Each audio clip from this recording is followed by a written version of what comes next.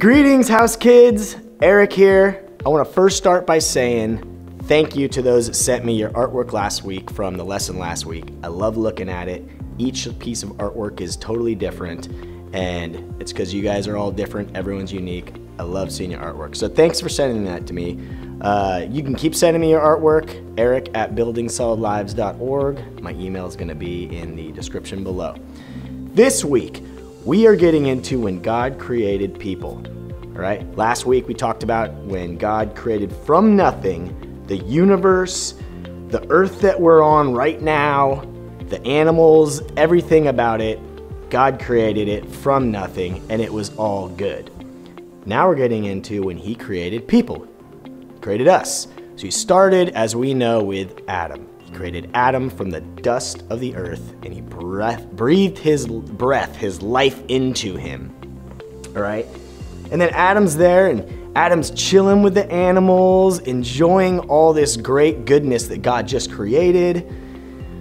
But even though he was having a relationship with God, he had all this cool earth and animals and stuff to hang out with, something wasn't quite perfect. God noticed that he was lonely. And I think we can kind of all relate to that a little bit right now. I mean, we're all cooped up in our homes still for a little bit. Can't wait till this is over. But, you know, I have friends, you have friends that you probably miss, you haven't seen in a while. It's because we were created to have relationships. We were created to be with other people. And Adam wasn't. He was just by himself. So God created Eve. And so then we had Adam and Eve, and they hung out and had a relationship together. They got to experience all of God's cool stuff that He was doing and what He already did by creating everything. So that's what you're learning about today in today's lesson there's two things I really want you kids to take away from this that uh, about God creating people because he created us for reasons. He didn't just create us just to he doesn't do stuff on accident. God does everything on purpose. He means to do everything that he does. So, the first thing is this. Remember this. God created us in his image. He created us to be like him. We're not like any of the other things here on this planet. We're creating his image, and he's special, which makes you special.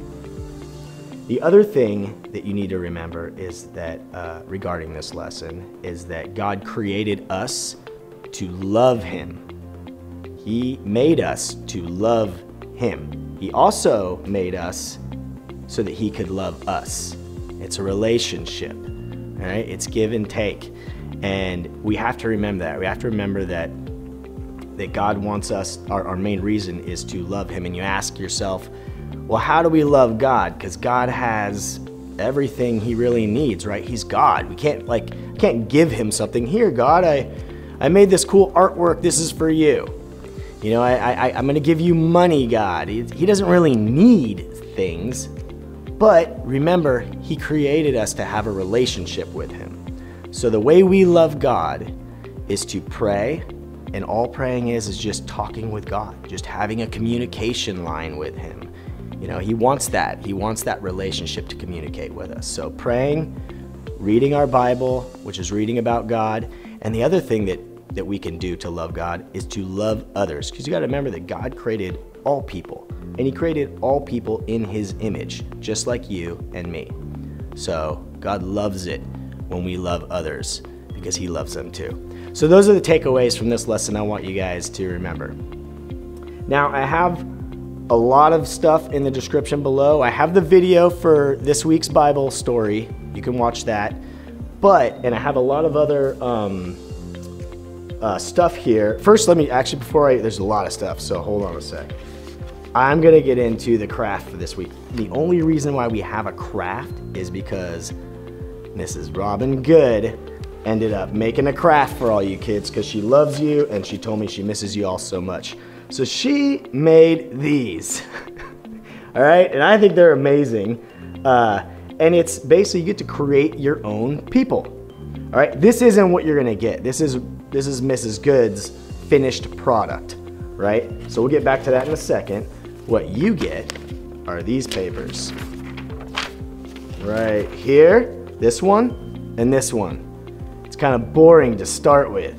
and you get to make it really cool and exciting. So you can print these out. You can print them out on regular paper if you have it. If you have a thicker paper like stock card, you could use that too. That'd be good. But then you can cut these out and you can decorate them however you want. The thing is, is the rule here is we're stuck in our homes right now. So you gotta use whatever's around your house. As an example, Mrs. Robin used for his shirt, it's just stuff from, she went through magazine. Maybe you might have a magazine laying around that your mom and dad's done with or you're done with. And you can look for cool pictures and you can cut them out into the right shapes and you can glue it on. She actually used like rice, see rice, and she glued rice on for his hair.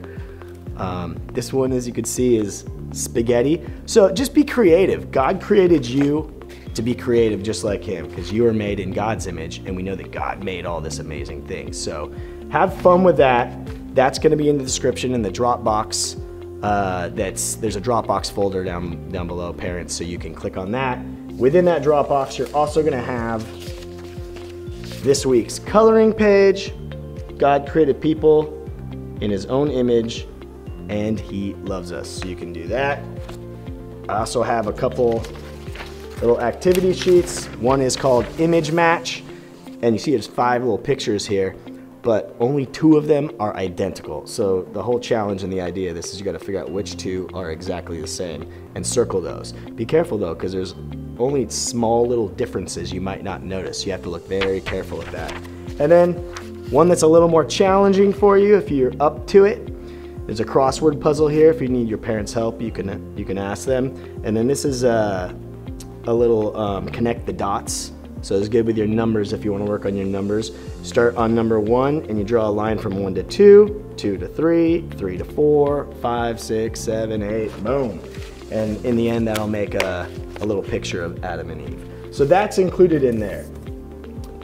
But there's more. What? There's more? It's bonus week. Because you know why? Today is Sunday, April 5th. It's Palm Sunday. Next week, one week from today, is Easter. And so Palm Sunday is when we celebrate when Jesus came into town on a donkey into Jerusalem to prepare himself uh, to go on the cross and die for our sins and be resurrected so that death can be defeated forever. And so that we can have that relationship that God originally wanted with us. So we're gonna celebrate that. I have a video for a YouTube video on Palm Sunday that's also included down below in the description. And in that Dropbox, there's one extra coloring page. Wait, this is the one I already showed you. There's an extra coloring page somewhere in there. Here it is. Found it. I have a lot of a lot of goodies for you this week. Uh, and there's Jesus on a donkey. There's like the palm fronds. People welcome Jesus to Jerusalem as their king. So I got a lot of stuff for you. Happy Palm Sunday. I hope you guys are doing well. I miss you. Again, send me your artwork. I love seeing it. Uh, it's great. So, anyways, miss you guys. You guys take it easy. Enjoy your week. See you next week on Easter.